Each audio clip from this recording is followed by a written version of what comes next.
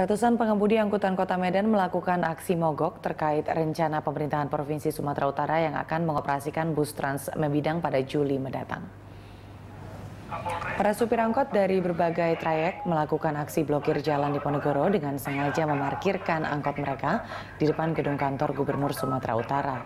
Di bawah pengawalan ketat aparat kepolisian, para supir yang tergabung dalam keluarga besar supir dan pemilik angkutan Kesper serta Organda Kota Medan ini mendesak Gubernur Sumatera Utara Gatot Pujo Nugroho segera membatalkan pengoperasian Transmebidang yang mereka tuding sudah menyalahi undang-undang.